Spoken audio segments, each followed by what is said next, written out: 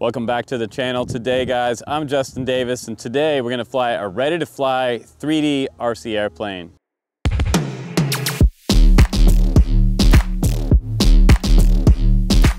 All right, guys, we have a brand new RC airplane on the channel today. This is from Radiolink, and this is the A560, ready to fly 3D plane with a breakaway prop. It also has a flight controller on here. It's the R8XM flight controller and receiver. We have the BIME BYME-A also on here running our receiver. We have servos already on here. All the links are all set up and I'm gonna show you how this goes together in this review, as well as a little bit of flying in the different flight modes. It comes with manual flight mode, and it comes with gyro assist flight mode. Right now it's blowing 15 to 20 miles an hour up top here.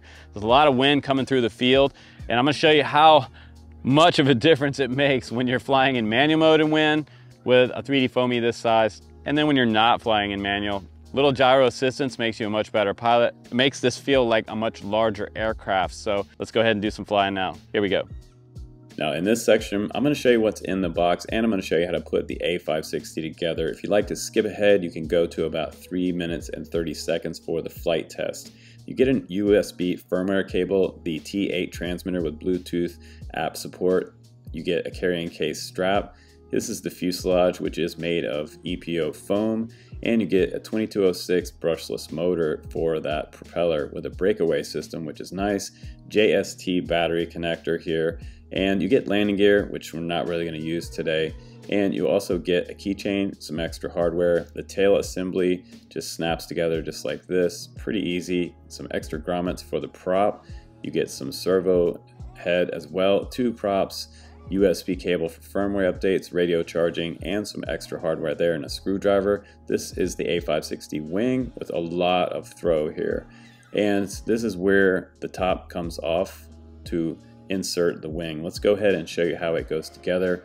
The wing goes down just like this, and then that top plate where the cockpit would normally be slides back down, and you have four plastic screws that go through there with a couple little top plate assemblies that twist into place. So it's pretty much a little thumb screw setup here.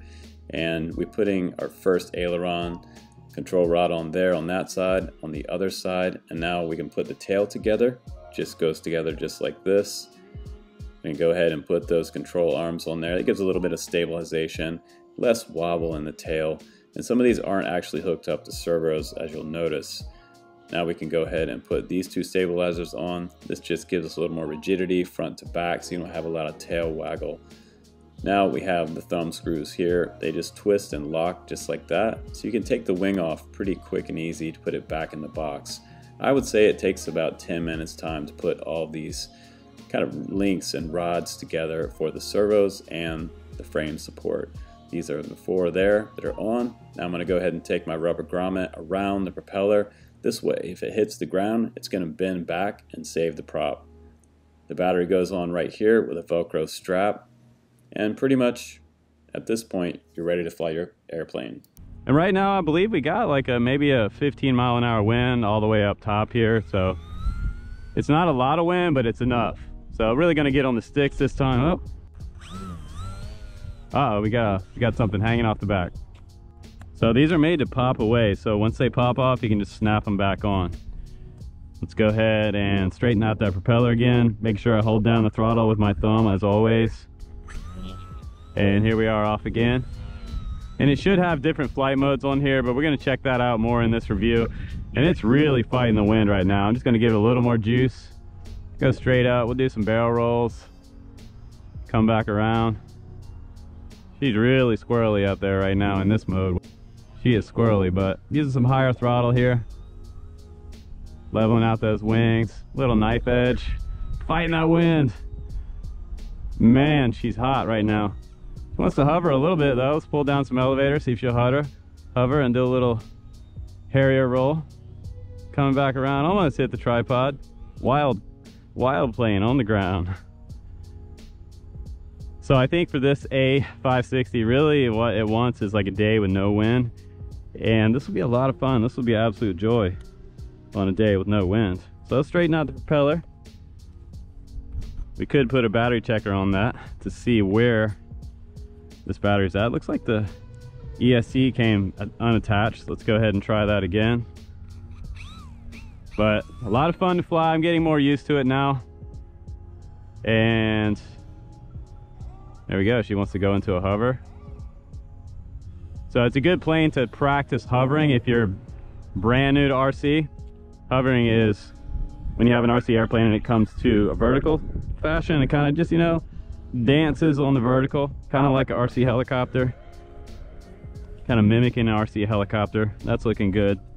So the cool thing is so far, I, I've hit the ground quite a few times and not had any problems here. Let's go ahead and press transmitter button. Let's see if we have a few different modes we can snap into here. Okay, there we go. There's our modes. Let's find out where the stability mode is. And to get into stability mode, you're gonna use this C, looks like channel five switch here.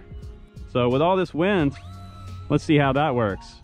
See if it uh, flies a little smoother.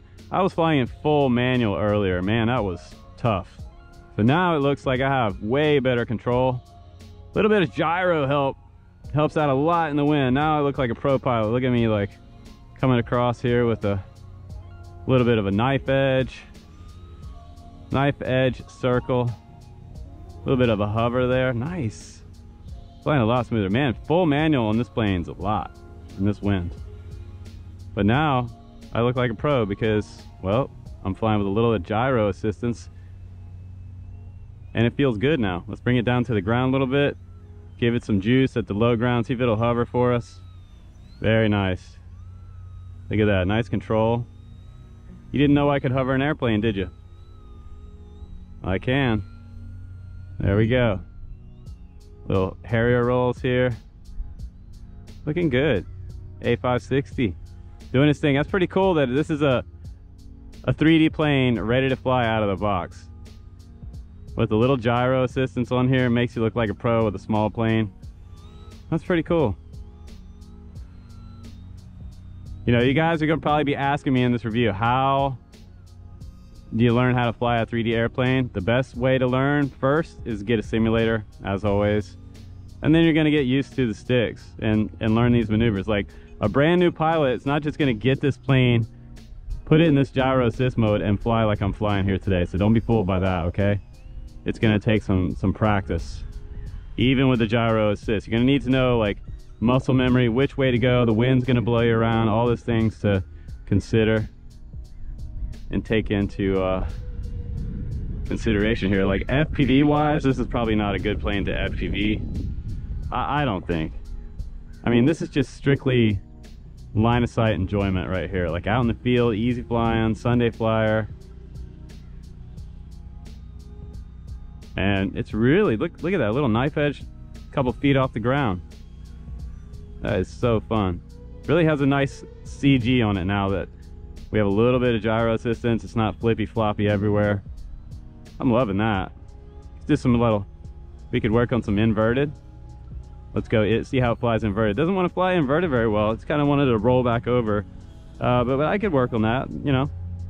That's one of those things where it, when you get a brand new RC airplane, you never know how it's gonna fly inverted until you do it. Some planes love to fly inverted, other planes don't like it at all.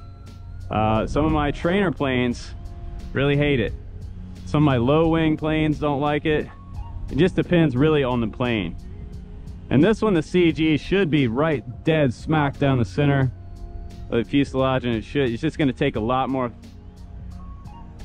kind of a lot more patience to fly this one inverted. But and also there's a lot of wind right now, but we could probably keep working on that inverted there. I'm inverted right here and back around. Can also do some outside loops. Outside loops are a lot of fun. So a regular loop is like this. You're gonna go kind of nose into the wind, come up all the way around. That's a regular loop. Now for an outside loop, you go the other direction.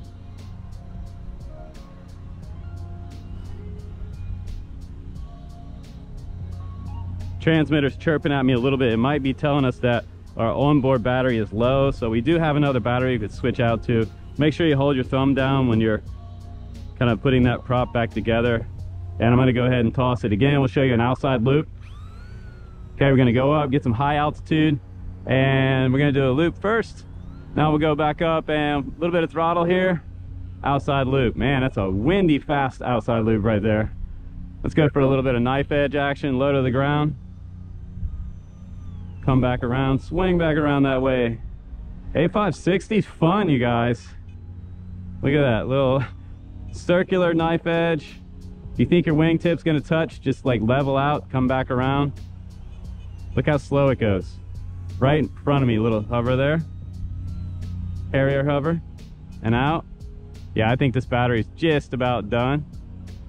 Let's try to come way back over here, getting too close to the van in the parking lot. Concrete, RC airplane, not good. So let's see if we can catch this guy.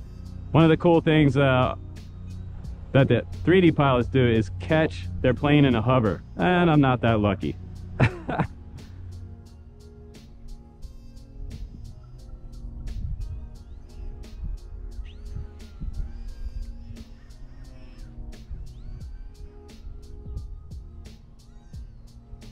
Flying good. Locked in, you guys. Still a little bit of wind, but the gyro is really helping out with that wind. Making it feel like a much bigger plane. A small 3D plane can definitely be a handful without some type of gyro assistance, but people do fly them, but they usually fly them in gyms and things. Not so much outside and outdoors, but a lot of the AMA fields guys have these types of planes. It's just cool to see a ready to fly version of one of these planes come along. Low airspeed to the ground there, almost stalling out to zero airspeed, coming to a little bit of a hover. Still a little hovering right in front of us here. See if we can do a little wing rotation in that hover. Nice. Beautiful. And we could work on some inverted as well. But it seems to roll really nice. Snap roll. Go the other way. Little knife edge action. Up. And the cool thing about this is during this entire review, I have hit the ground so many times now with this plane and I don't have any body damage yet. Um, and my first propeller is still on there and not broken and I haven't lost my first rubber band there yet off the front so that's pretty cool now everything still seems to be working great I also put some uh, kind of uh, what I call thumb couches on my radio here these are from Bestem Aerial I'll try to put some links down below if you guys want some of these these are great they kind of just don't let your fingers slip off the end of the sticks they're they're really comfortable to fly 3D and and FPV with rudder seems to have uh, really turns quick with that rudder. And you have, you know, really big throws with this plane. Let's do an outside loop. There we go. A little higher up that time, a little safer. You know, as long as the plane is in the air, hey, it's all in one piece. They used to tell me that at the field. Like, Justin, as long as it's still in the air, you know, you're all good. It's when you start doing things kind of low that you get in trouble. Get low to the ground, it's more more at stake seems to be tracking pretty well up right to the ground so and a lot of times again with this plane like i'm finding out that just a little light smackdown like that turn the prop back in place and i'm ready to fly again you can hear those gyros working with my surfaces and just you know give it a little bit of throttle and let it go give it a toss i'm not even at half throttle when I let go of it. Probably about 40% throttle and it'll take off out of your hand. You could definitely do a, a catch with this one. Let's do some uh, hovering with a little bit of aileron there. Get a little twist, happy twist happening. Everybody likes a happy twist. All right. Sound like the Bob Ross of, of RC. I've been called that before, the Bob Ross of RC. It's really relaxed. Oh no! Now that was our first hard smackdown. So let's see. I heard something really pop that time. I might have popped the motor off the front. And that's a little durability test right there because it really hit hard. Okay, so I saw something bent here. Looks like this popped out of place. The wing popped out of place. Maybe I can put that back. Um, this propeller is still intact. Man, you guys heard that pop, right? I thought the whole motor was hanging off the front. And for mine, it looks like they have two bolts here holding the motor and none vertically. So that's interesting. I'd probably put a couple more bolts right there. Maybe manufacturing, they forgot to put those in there, but check all my control rods. Everything looks good here. I had one pop off earlier. It popped off right here on this link. But it looks like we could go back to flying from that hard smackdown. That is pretty cool. Okay, we're back up. Let me just test all the surfaces here. Yeah, seems to be fine. So the more you fly these planes, just, you know, the more comfortable you get with them, the more chances you're gonna take. And you're gonna, you're gonna smack this plane down, but you're also gonna learn how to be a better pilot. I promise you, if you fly line of sight like this, you're gonna become a better pilot. Even a better FPV pilot flying line of sight. I know uh, guys that were like 3D plane professionals that fly FPV and they're fantastic. FPV pilots as well. Just, you know, comes with the nature of RC. If you love RC, do a little bit of everything. It's fun. Kind of a wide knife edge there. Coming down low back to the ground. Gonna try a little hover action here. Low to the ground, see if we can throw some wing spin into it. It wants to spin. And you know, this is not like hover assistance. This this is not hover assistance on this plane. Some planes have a hover assistance for the flight controller, but this one, not to my knowledge, it doesn't have that. And again, it looks like everything looks like it's still in good standing here. All control arms are on.